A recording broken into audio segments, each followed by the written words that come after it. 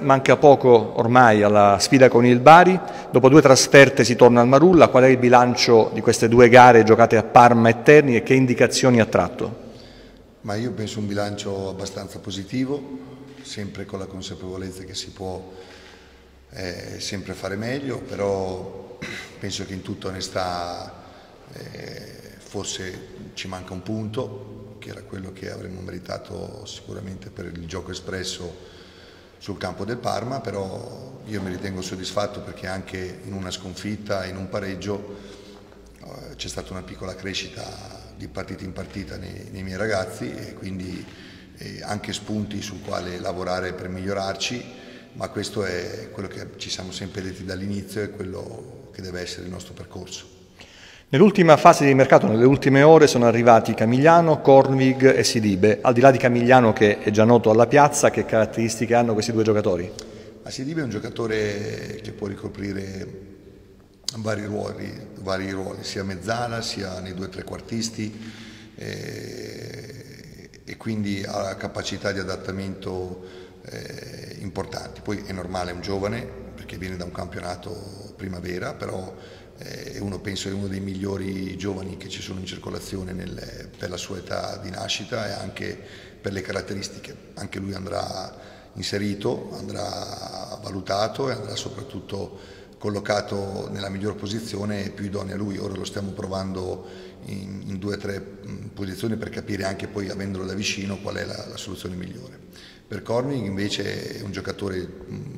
più avanti perché ha, comunque ha disputato alcuni campionati, qualche campionato pro, professionistico nel, nel, suo paese. Anche lui è un giocatore che può ricoprire sia il ruolo di mezzala, un, può essere un trequartista tipico, può essere anche un trequartista atipico e quando parlo di atipico è riferito al fatto della sua mole, no? è un giocatore di, di grossa struttura però eh, da, doni, da, buone doti tecniche, eh, a differenza di Sibi non, non, parla, non, parla, la lingua e quindi dobbiamo piano piano anche lui eh, cercare di inserirlo per fargli capire soprattutto da un punto di vista dei movimenti quello che noi, quello che noi richiediamo nel nostro sistema di gioco. Domani sarà al Marullo il Bari, da giocatore ha militato per una stagione nella squadra biancorossa, che ricordi ha? Ricordi bellissimi, facemmo una cavalcata importante, io arrivai in un momento in cui il Bari stava, eravamo in una, in una, posizione ibrida, abbiamo sfiorato i playoff, molto probabilmente perdiamo una partita a Genova contro il Genova clamorosa che assolutamente non meritavamo, forse con quella vittoria si poteva sognare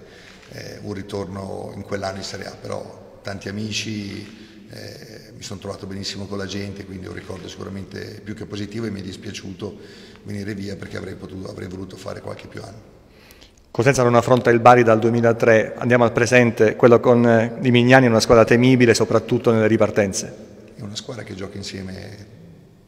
già da, già da due anni, quindi ha una precisa identità, eh, l'allenatore è un mio amico,